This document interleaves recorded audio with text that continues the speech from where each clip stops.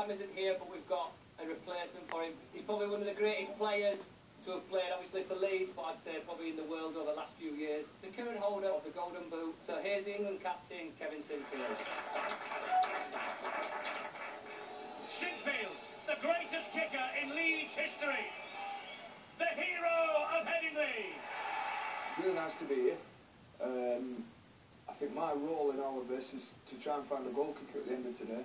Before I talk about goal though, I just thought it'd be good to share some things with that I've picked up throughout my career.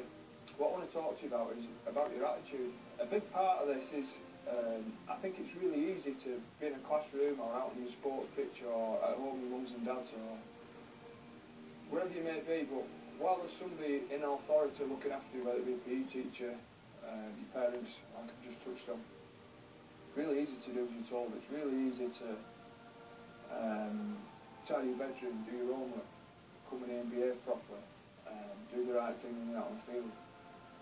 But how do you behave when the backs are turned? What do you do when nobody's watching? And uh, that's self-discipline for me. Can, you do the things that you need to do? Can you do the things that your sport or your studies require you to do when there's not a teacher looking over or a mum and dad or a coach?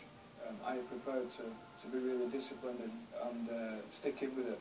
I think Kevin's speech there was inspirational to some of the students and to the staff as well in that what he was saying came across and he was honest and he was thoughtful and I think the students and I know myself got a lot from it. It was very inspirational. You're going to get set, setbacks, you're going to get kicked in the teeth from time to time and how do you respond to that? I've got a little example of this and um, I used it with Leeds actually. It's about a Chinese bamboo plant. Now you're going to think I'm some weirdo here who, who's all into trees and plants and I'm not at all. But um, this tree when it's planted is about a metre tall. It don't have any shoots and leaves on it and it don't grow in its first year. In fact it doesn't do anything in its second, third or fourth year either, it just stays that tall. But in its fifth year, in a period of six weeks, it grows to be 90 feet tall.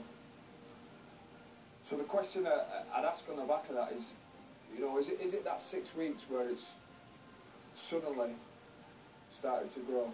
Or is it all that five years beforehand where it's had all the sunlight and all the water and all the nutrients out of the soil that have made it grow? And I think it's a great lesson for us all that perseverance is really important and, and uh, sticking to it and know that at time, from time to time you're not going to get the answer you want.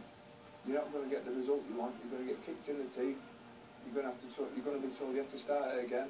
You're going to get things ripped up in your face, and it's how you deal with that. After the speeches